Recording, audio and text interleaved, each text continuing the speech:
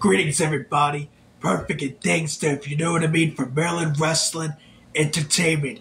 We have every championship has been switched up as champions between Ryu and we got a new we got a new HD television we got a same HD television champion that is Cade and we got the cruiserweight champion that is Y2J, Chris Jericho, even Anya as the women's champion, and we got the tag team champions still known as D'Angelo and El Salamo. And don't forget, I'm actually still the hardcore champion with my alternate eager gear known as Watchman Rorschach.